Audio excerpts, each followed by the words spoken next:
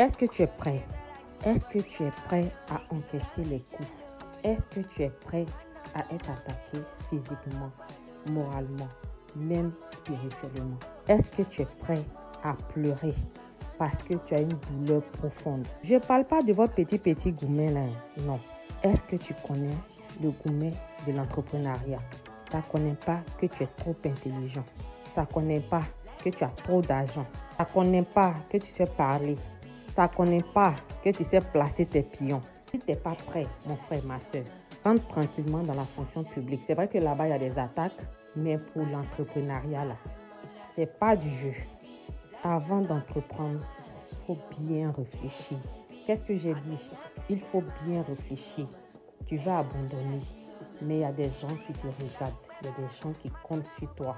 Ouais, ça fait mal. Ça pique comme piment. Au passage, ici c'est Churache Authentique and Beauty, les perruques sans col. Abonnez-vous.